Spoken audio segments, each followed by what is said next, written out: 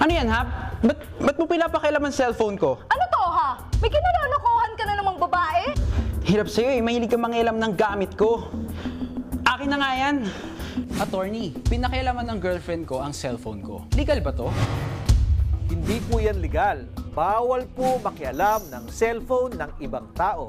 Ayon sa Article 290 ng Revised Penal Code, isang krimen ang pagkuha at pag-disclose o paghahayag ng mga pribadong messages o correspondence ng sino mang tao, gaya ng cellphone o mga sulat niya o mga sikretong laman nito.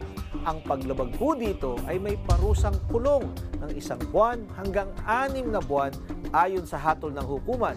Subalit, hindi ito pwedeng gamitin kung sila po ay mag-asawa o sa pagitan ng magulang at anak. Tandaan po natin na may right to privacy ang lahat ng tao kaya hindi pwedeng pakialaman ang cellphone at iba pang pribadong bagay ng walang pahintulot ng may-ari. Kung kayo po ay may nais ikonsulta sa inyong lingkod, i-follow lang ang Facebook page ng Good Morning Kapatid. Mangyaring i-private message po ninyo sa akin ang inyong mga katanungan. Maraming salamat po.